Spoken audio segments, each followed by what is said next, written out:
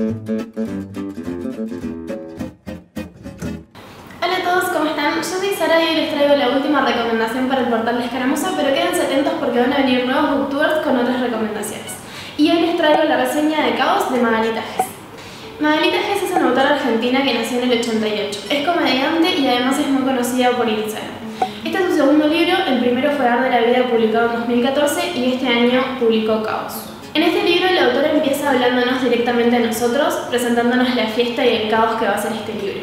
Está dividido en varias puertas, que cada una tiene un color, donde nos habla de amor, de desamor, de feminismo, de conocerse uno mismo, de conocer la vida de diferentes puntos de vista.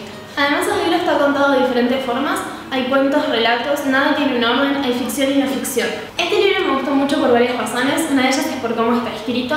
Los que lo seguimos desde Instagram vamos a ver que la misma energía que transmite en redes logra transmitirla en este libro.